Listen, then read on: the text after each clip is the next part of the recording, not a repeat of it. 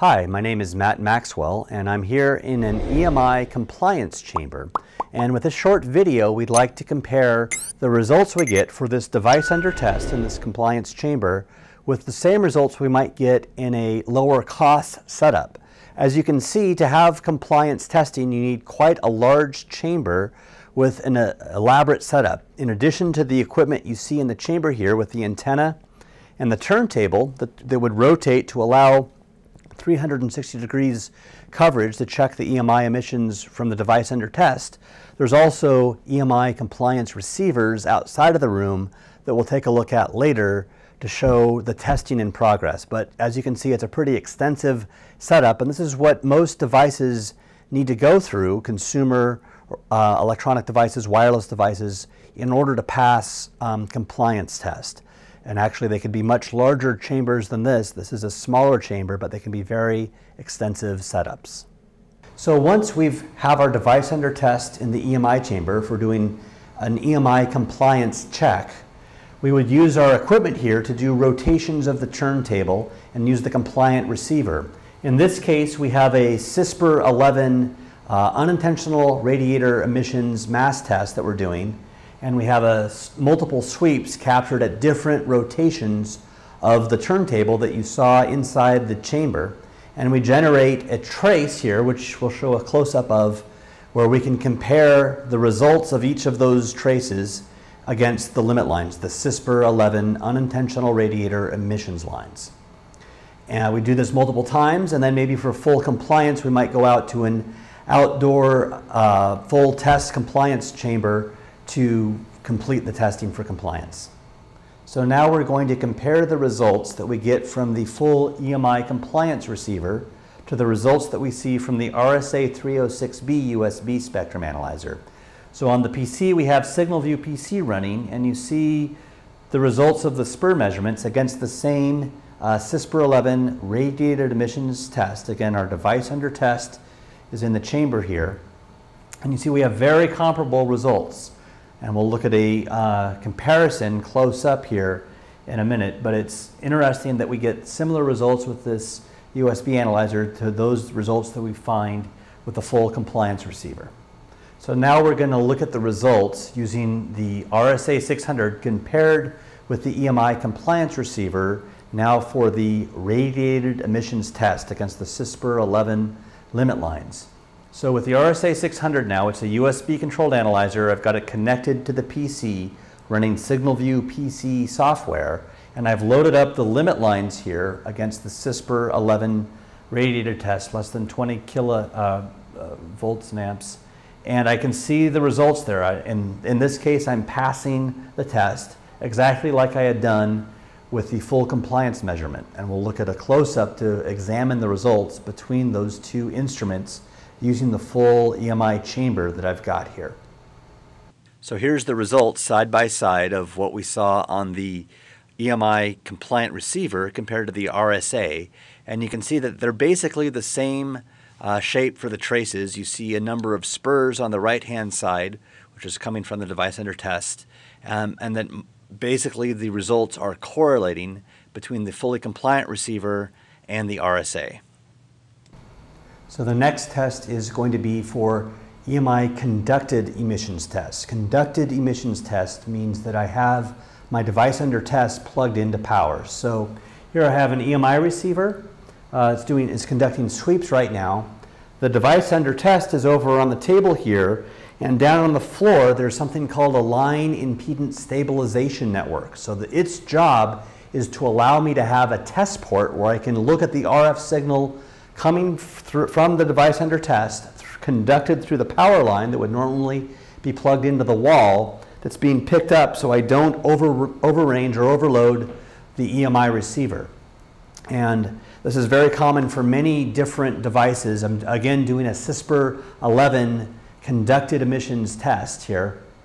And I'll look at the results here in more detail, but basically right now I'm failing some of the CISPR average tests and passing the CISPR quasi-peak test. So I might need to take some closer looks with a CISPR quasi-peak um, measurement at zero span against my zero my, my sweep to make sure that I'm going to pass the test. But anyway, this shows the basic setup with the equipment performing the conducted emissions test.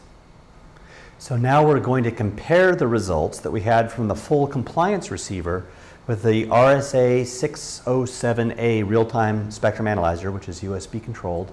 And we can kind of see the results here, the results from the compliance receiver versus the results for the uh, RSA. We're still doing the conducted emissions test per CISPR 11 with our device under test. Line impedance stabilization network, or LISN, is directly behind me. And we can see that the results track very, very closely. And we'll take a closer look at those results here in a minute. But it's the same kind of test for conducted emissions. I haven't changed anything for the setup, and I'm able to get the same results uh, with the RSA uh, 600 series. So here's the side-by-side -side screenshots comparing the conducted emissions test with the results from the RSA on the lower left compared with the full compliant receiver on the upper right. And you can see here again, the traces correlate very nicely. In both cases, I'm showing a CISPR peak detected trace, and then I can actually see some failures in this particular case where I've exceeded the limit lines in some of the areas. So here we finally have our device under test set up.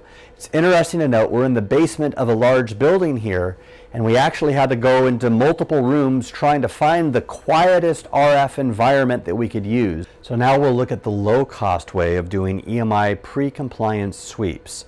So the setup here, I have my device under test on this cardboard box. I need some non-conducting surface to place the box on. And I have the low-cost printed circuit board antenna connected to an RSA 600, the same RSA we used in the EMI chamber, along with a preamplifier to help boost the signal level, with SignalVu PC running on the uh, controlling the RSA and running the, on the background. And right now the device is off. You'll notice first off, if you can see the screen here, that the ambient energy in this room is much higher than it was in the chamber. That's what you would expect. An EMI chamber is going to have much better isolation against things like cellular signals and broadcast signals. However, we think the results are still correlating with what we get here in the basement compared to what we got in the chamber. So now I will power on my device under test. It goes through a small boot up sequence.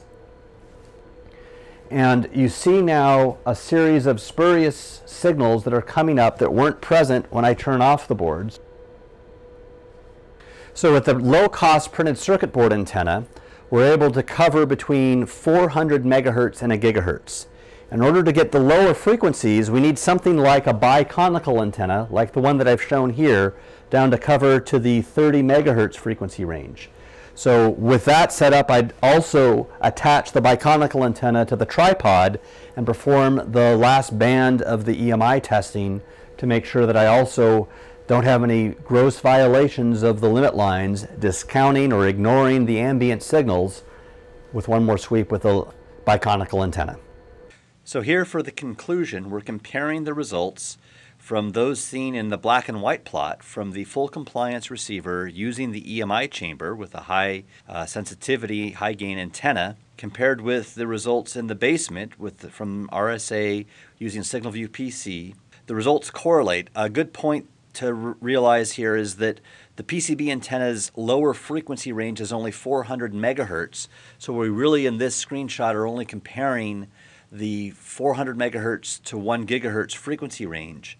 And also a good point to remember is that in the basement I have ambient signals. I have some other cellular or other types of maybe broadcast signals that I'm picking up. So I'm going to have to figure out what those are before I perform my test and identify those. It looks like there may be some cellular signals there around the 800 megahertz range on the basement results from the ambient signals. The point here is that using the CISPR peak sweep on the RSA 600 in this case to compare with the full compliant receiver in the chamber, uh, I get correlated results. I see the similar spurious signals coming from both cases, both measuring the same device under test.